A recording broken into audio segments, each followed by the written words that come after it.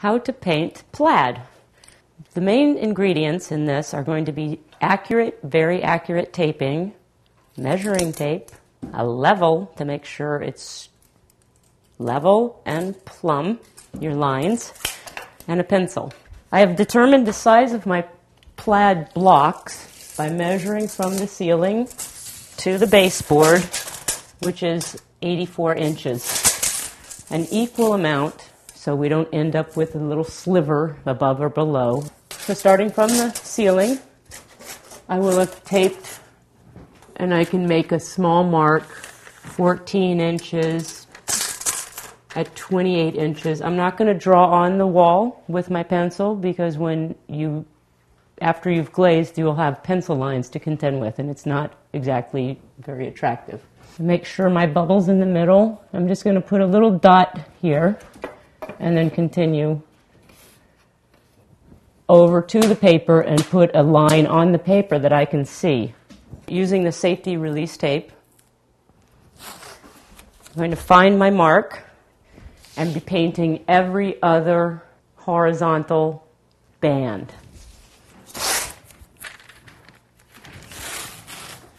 Simply by pulling it tight from one mark to the other.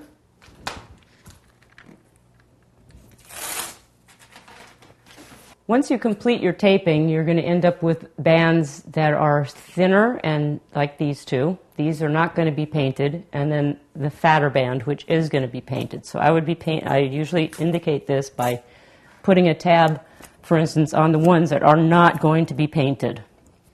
So I would be painting a 14 inch band here, a 14 inch band here, and a 14 inch band here.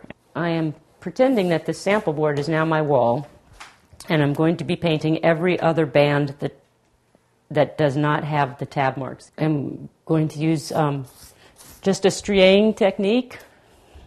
You would be painting each band around the room. You could stop in the corners if necessary.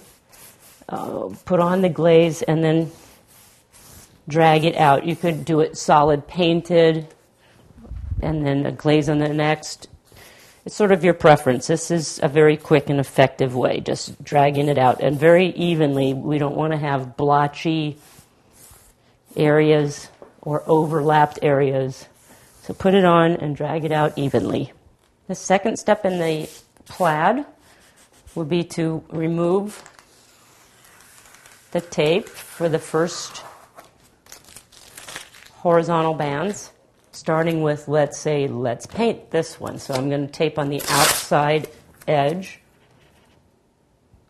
pulling directly to my mark, 8 inches. This next section is not to be painted. So I'm going to indicate that by a little piece of tape. So we're painting painting this, not painting this, painting this, not painting that.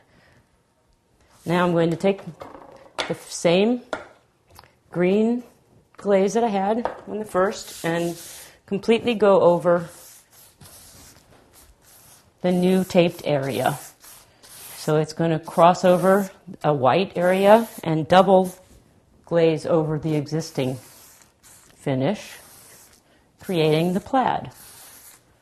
And then it's a matter of pulling the tape. And you have your plaid.